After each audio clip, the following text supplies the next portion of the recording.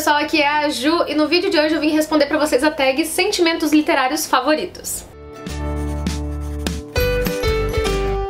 Tagueou pra responder essa tag foi a Amanda do Lendo e Comentando. Vou deixar o canal dela linkado aqui na descrição pra vocês. Ela, na realidade, traduziu essa tag para o português do canal da Ashley, que é o Klein the Stacks. São algumas perguntinhas aí, são 15 perguntas, pra falar a verdade, é bastante coisa, sobre os sentimentos que a gente tem com relação a alguns livros. Então a gente tem aí 15 categorias pra responder. Por isso eu não vou entrar em detalhes sobre cada livro, tá, gente? Vou falar assim rapidinho sobre cada um e vou colocando as capinhas aí pra vocês. Então, vamos começar? E a primeira pergunta dessa tag é aquela parte do livro onde o título faz sentido. Então, para essa primeira perguntinha, eu escolhi O Silêncio dos Inocentes, do Tom Harris, porque, a princípio, quem vê esse título, né, O Silêncio dos Inocentes, não consegue muito bem entender do que, que vai se tratar o livro, qual é o tema do livro, nem mesmo o gênero. Claro que olhando pra capa você tem já uma, mais ou menos uma ideia de que é um livro de suspense, de é, suspense policial, alguma coisa assim. Mas O Silêncio dos Inocentes só faz sentido mesmo quando você lê o livro, e principalmente se você levar em consideração o título em inglês, que é The Silence of the Lambs, se eu não me engano, porque tem a ver com uma situação específica com relação à protagonista. Não vou dar mais detalhes porque eu acho que quem leu e quem assistiu ao filme talvez consiga ter uma ideia do porquê do título, mas para quem não leu, realmente eu acho que fica bem difícil de entender. Esse livro é excelente para essa categoria, O Silêncio dos Inocentes. Não dá para entender o título do livro sem ter lido. E a segunda perguntinha é: quando você finalmente começa a entender a importância de um livro ou autor que inicialmente você não gostou? Essa categoria eu vou colocar o Apanhador no Campo de Centeio, do Salinger, porque quando eu li eu fiquei meio assim, sabe? Hum, ah, mas por que, que as pessoas gostam tanto desse livro?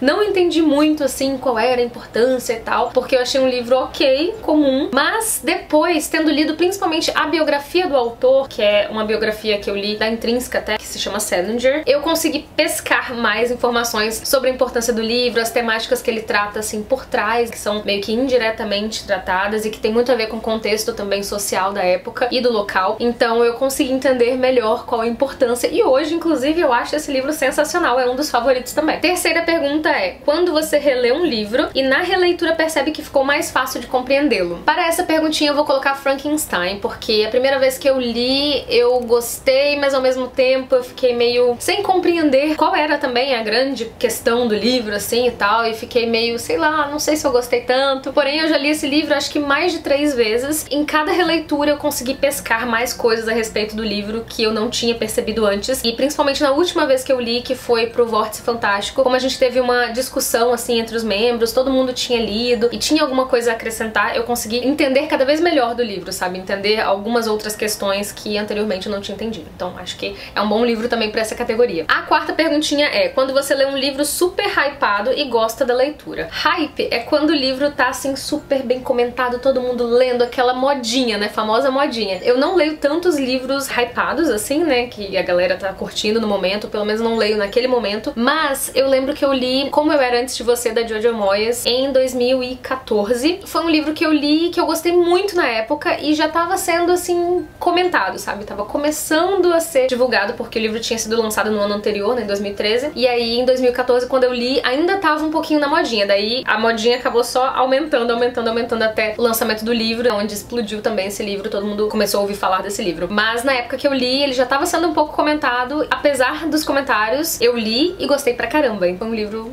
hypado aí que eu li.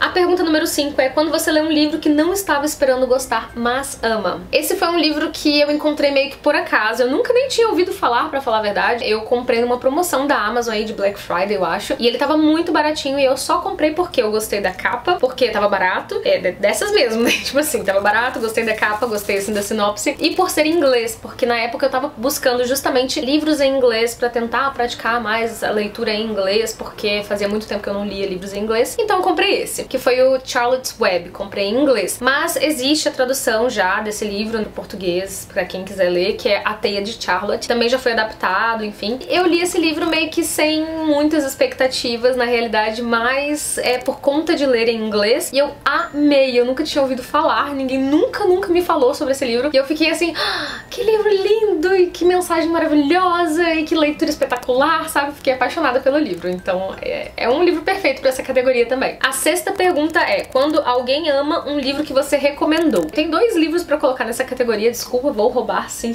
Um deles é o Caixa de Pássaros, que eu indiquei pro meu pai. Assim como a Amanda é, comentou que ela indicou um livro pra mãe dela e a mãe dela amou e tal, e a mãe dela também não é muito de ler. A mesma coisa aconteceu comigo, eu indiquei pro meu pai Caixa de Pássaros, e isso foi há uns dois anos atrás, eu acho. E ele tava, num, acho que foi num período de carnaval, quando eu indiquei o livro. Então meu pai tinha alguns dias ali de folga, eu emprestei o Kindle pra ele, então ele colocou a fonte do Kindle bem grande, e só assim ele se motivou a ler. E ele não é uma pessoa que lê, mesmo assim, depois de Caixa de Pássaros, ele não concluiu mais nenhuma leitura, infelizmente. Mas eu tô sempre tentando ali, né, pressioná-lo ali, incentivá-lo a ler alguma coisa, mas, né, não rola. Porém, Caixa de Pássaros ele leu e amou, e a gente assistiu juntos a adaptação agora mais recente pela Netflix, né, então foi super legal, assim, ter essa experiência junto com meu pai. Então foi massa demais. Mais um outro livro que eu indico pra todo mundo e que parece que as pessoas realmente têm gostado de ler é o Terra das Mulheres, da Charlotte, per Charlotte Perkins Gilman. Esse livro eu indiquei aqui no canal, mas a resenha nem tem, assim, tantas views, mas parece que é, as pessoas têm se motivado a ler esse livro por minha indicação, porque eu vejo lá o pessoal compartilhando no Instagram e tal, muita gente lendo e gostando desse livro, e eu fico assim super, super feliz quando vocês gostam mesmo de um livro que eu indiquei, que vocês leem, indicam pros outros, me marcam também no Instagram, então eu fico super, super feliz. A pergunta número 7 é: quando você encontra alguém que ama um livro que você pensou que só você gostava e que nunca iria encontrar ninguém que também gostasse? O livro Senhor das Moscas é um livro que eu amei demais a leitura na época e que eu vejo que nem todo mundo gosta, assim, né? Os comentários lá na resenha aqui do canal, que vou deixar aqui nos cards pra vocês, não são assim 100% positivos, nem todo mundo gosta desse livro, mas algumas pessoas gostam. De vez em quando eu encontro pessoas, tipo a Thaís do Pronome Interrogativo, que também gosta tanto quanto eu, então eu fico muito feliz de saber que eu não sou a única pessoa do mundo aí que gostou desse livro. Pergunta número 8. Quando você acha alguém que odeia o mesmo livro que você? E é difícil, né? Assim como a Amanda lá na tag, né, falou que ela também acha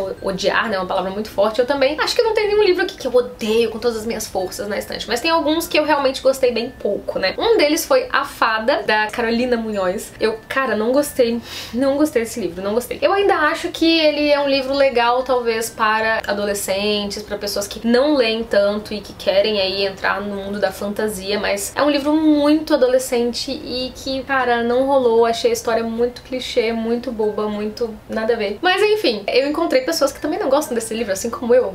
Foi a galera do Vórtice Fantástico, acho que foi unânime, assim. Acho que não teve ninguém que gostou desse livro quando a gente fez essa leitura. Acho que foi no ano retrasado, não sei, né? O Vórtice tem quatro anos e eu acho que a gente fez essa leitura no primeiro ou segundo ano do Vórtice e ninguém, realmente ninguém gostou. A gente concorda, né? A maioria das pessoas concordou que é um livro talvez que tem um público mais adolescente, mais iniciante no mundo da leitura, mas ninguém curtiu muito mesmo. Pergunta número 9. Quando um livro conversa intimamente com você, como se algo que está naquele livro tivesse sido colocado ali especialmente para você. É, é difícil lembrar, né? Mas tem vários livros que a gente sente essa conexão, assim, como se tivesse sido escrito pra gente. Mas o último que eu li, que eu me lembro, assim, que foi escrito pra mim, assim, que eu tive essa sensação, foi O Ano em que Disse Sim, da Shonda Rhimes, e também o Girl Boss, da Sofia Moruso. Acho que esses dois é, me pegaram num momento de vida em que eu estava precisando ouvir essas coisas, e eu consegui, na época, assim, tirar várias coisas pra minha vida, e foi tipo aquele tapa na cara, né? Tipo, olha aí, ó, querida, pra você esse livro. Então eu acho que esses foram dois livros que, na época, é, ficaram marcados pra mim como livros que eu li e que falaram muito comigo. A pergunta número 10 é: quando um livro faz você se sentir menos sozinho ou sozinha? Também foi difícil achar um livro que tivesse esse tipo de característica, porque todos os livros fazem com que eu me sinta menos sozinha, né? Assim, com os livros a gente tem ali uma companhia perfeita, né, sempre. Na realidade, um livro que a Thaís até me recordou que traz esse sentimento pra gente é o Leve-me com Você. Vou deixar a capinha de todos eles aí, né? Vocês estão vendo que eu já tô deixando. Esse foi um livro que me fez me sentir menos sozinha porque ele fala muito sobre alguns aspectos com relação a luto, a perda. Eu consigo me identificar, sabe, com o protagonista que perdeu uma pessoa muito importante na vida dele e também com algumas coisas com relação a alcoolismo, a alguns problemas de família que as pessoas, né, lidam de maneiras diferentes e que eu critico muito, assim, sabe? Então ele também me mostrou um outro lado dessas situações. Acho que quem leu o livro ou quem assistiu a resenha que tem aqui no canal, vou deixar aí nos cards, talvez vai entender melhor do que eu tô falando. Esse foi um livro também que falou bastante comigo e que me ensinou bastante coisa. E que me fez sentir menos sozinha com relação a sentimentos que a gente às vezes acha que, sabe, só a gente tem, que é só nosso, mas o livro fala exatamente sobre aquilo que você tá sentindo e faz com que você se sinta menos sozinho. A pergunta número 11 é: quando um livro é muito difícil de ler e compreender, mas é muito válido no sentido de que a experiência vale a pena? Para essa categoria eu vou colocar 20 mil léguas submarinas, porque sempre que fala de livro difícil, livro um, pouco arrastado, assim, eu lembro desse livro, porque foi um, um belo de um parto, assim, pra eu terminar, né? Foi bem complicado. Na época eu gostei do começo, tava super empolgada, né? Nossa, mas é muito gostoso esse livro, mesmo que seja longo, nossa, que legal e tal. E daí começou a ficar difícil. Começou a, tipo, ser um pouco arrastado pra mim, porque o vocabulário em certas partes é mais técnico, mais específico de navegação, de animais marítimos. Com relação à parte tecnológica, muito entre aspas aí, do submarino, onde se passa a história, né, que é o Náuticos. Então, eu achei um pouco arrastado. No final, eu acho que valeu muito a pena o esforço, aquela coisa assim de remar, né, literalmente de ficar ali tentando terminar o livro, valeu muito a pena, mas foi um livro que eu levei assim, tipo, vários meses. Vários meses não, na realidade foi um mês, né, mas assim que eu levei muitos dias me arrastando ali para terminar. Mas foi muito válido por conta, acho que da bagagem que ele traz para mim com relação a Júlio Verne, né? porque eu gosto muito do autor e eu acho que as suposições que ele fez com relação ao futuro são muito válidas, então a obra dele é muito interessante para mim, eu fico sempre instigada a ler mais e por isso que eu acho que valeu bastante a pena ter me esforçado aí para terminar esse livro. A pergunta número 12 é: quando um livro desafia ou coloca em xeque suas crenças pessoais e te faz repensar a sua vida? Eu já comentei sobre esse livro aí em vídeos anteriores, que é o Flores para Algernon. Esse também me fez colocar em xeque algumas questões aí sobre inteligência, sobre o que traz felicidade para as pessoas. E assim, ele traz várias reflexões mesmo com relação ao ser humano, né? Ao que a gente dá importância. Então acho que é um livro que faz você repensar aí muitas coisas, né? Muitas das suas próprias concepções, né? Das suas crenças pessoais. Pergunta 13 é: quando você finalmente lê aquele livro que estava na sua lista de leituras há muito tempo? Mais recentemente eu li O Filho de Mil Homens, do Walter Ugumãe, e esse é um livro que, tipo, nossa, muitas pessoas já tinham me indicado. Principalmente uma amiga minha, Isabela Lapa, ela comentou comigo que era o livro favorito dela do autor, e eu tô há um tempão, assim, tentando ler esse livro. Eu tenho outros livros desse autor na estante que eu tentei ler, assim, mas acabei abandonando, né? Um deles foi o A Desumanização, que eu comecei a ler numa maratona, acabou que ficou meio enrolado, aí fui ler outras coisas, abandonei por um tempo, até que eu comprei O Filho de Mil Homens e li mais recentemente. Então ele já tá na minha lista, assim, há um tempão pra ler. Principalmente, assim, qualquer coisa do autor, na verdade, né? Então, finalmente consegui ler e foi uma leitura muito, muito legal. Super recomendo pra vocês também. Pergunta 14 é: quando você relê um livro que amou ou odiou e a sua relação com ele muda porque você é uma pessoa diferente agora? É muito legal essa pergunta, assim, pra quem faz muitas releituras, né? Eu fiquei procurando aqui na estante alguma coisa que eu tivesse relido e mudado a minha concepção com relação ao livro, mas não achei, na verdade. Eu releio poucos livros, né? Só mesmo os favoritos, assim, aqueles livros que eu gosto demais, que eu tenho vontade de reler. Então, não tem nenhum livro que eu tenha relido e tenha mudado a minha concepção, a minha, enfim, o meu pensamento com relação ao livro. Não tem nenhum que eu tenha mudado, assim, o que eu achei do livro. Mas, é, eu pretendo reler alguns livros favoritos aí, eu tenho certeza que eu vou mudar um pouquinho a minha concepção. Talvez não mudar de amei para odiei, mas mudar algumas coisas, né? Talvez até mesmo é absorver um pouco mais do livro, né, com releituras. E tem alguns livros aqui na estante que eu não reli, porém eu já mudei de opinião, assim, um pouco pelo menos, né, do que eu achei na época para o que eu acho hoje, né, para o que eu penso desse livro hoje. Porque são livros que hoje talvez eu não leria, não me interessaria em ler, ou talvez não teria gostado tanto, né? Alguns livros mais jovens que hoje em dia eu não me interesso tanto por ler e que na época eu, tipo, favoritei, assim, né? Porque eu acho que era mais um começo da minha vida literária, assim, né? Então tudo era muito maravilhoso. E hoje em dia eu já tenho uns critérios mais de acordo com o que eu realmente gosto de ler, sabe? Então a gente vai mudando, né? Acho que isso é normal. Última perguntinha, número 15 é: quando você descobre um novo autor ou autora que tem uma obra vasta, vários livros publicados. E eu acho que eu, quando eu descobri o Stephen King na minha vida, quando ele entrou na minha vida, eu acho que eu fiquei bem embasbacada, assim, sabe? Porque eu percebi que ele tinha muitos livros publicados e continuava publicando, assim, loucamente, assim, sabe? Todo ano ele publica vários livros, eu não consigo mais nem acompanhar. Foi, publicou um livro, daqui a pouco publica outro. Foi, publicou um livro, daqui a pouco publica outro. Foi, publicou um livro, daqui a pouco publica outro. E eu não consigo acompanhar. E eu tenho muitos livros dele, assim, na estante que eu quero ler, já tenho alguns. E tenho muitos na minha lista de livros para ler na vida que eu quero ler. Espera de um Milagre, Sob a Redoma. Então tem muitos livros que eu quero ler dele que estão aí, né, pra eu ler, que são inclusive calhamaços. E tem outros mais fininhos. Mas tem muito livro dele pra eu ler. Eu fiquei feliz, mas ao mesmo tempo um pouco angustiada, né, de pensar que, meu Deus, quantos livros pra ler desse homem, né? Mas eu fico mais feliz do que angustiada, claro, porque eu sei que tem muito livro do cara pra eu ler e, tipo, adoro os livros dele. Inclusive, ano passado eu acho que eu li só um livro dele, então preciso aí ler mais do autor. Mas eu fiquei muito feliz. O primeiro livro que eu li dele foi o Escuridão Total Sem Estrelas, tem resenha aqui no canal e tem uma playlist também aqui no canal de livros do autor que eu li que tem resenha. Então vou deixar tudo aí nos cards pra vocês ou na descrição do vídeo pra vocês conferirem. E eu adoro os livros do Stephen King, quero ler mais dele aí na minha vida.